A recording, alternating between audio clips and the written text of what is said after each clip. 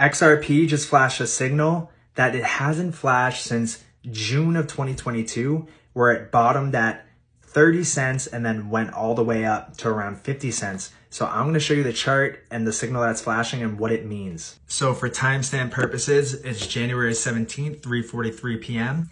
And right now we're on the XRP chart on the three day. And as you can see, this is what I was talking about, June of 2022. We got our vertical blue buy now signal. The green vertical, vertical lines is our prepare to buy soon, but we don't buy until we get the buy now vertical blue line, which is our confirmation.